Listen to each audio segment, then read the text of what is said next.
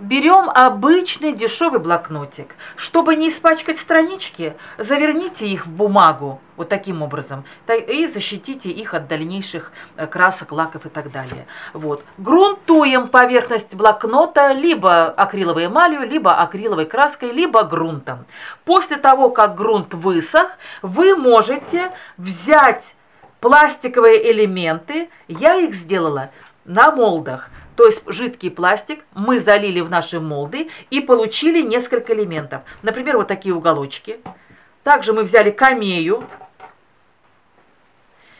И мы взяли вот такие тонкие элементы, чтобы обрабатывать камею.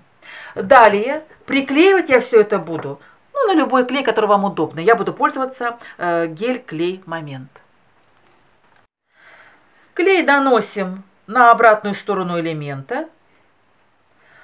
Затем прижмем к поверхности обложки нашего блокнота и подождем какое-то время, чтобы они хорошо приклеились. На минуточку можно оставить для реакции клея с воздухом.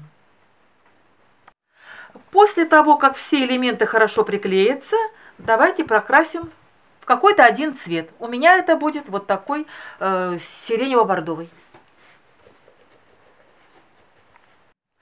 После высыхания краски запатинируйте вашу работу э, любыми оттенками, которые вам нравятся и подходят по э, цвету к основному тону. И в, конч... в конечном результате мы можем добавить еще один штрих, это металлизированный воск. Золотой, серебряный, либо медный, любой.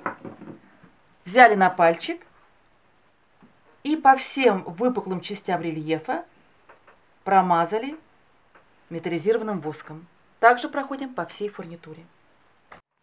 А, ко всему вы можете добавить, например, какие-то трафареты, э, свои э, интересные идеечки, может быть, что-то добавите из каких-то картиночек или элементов. Ну вот результат.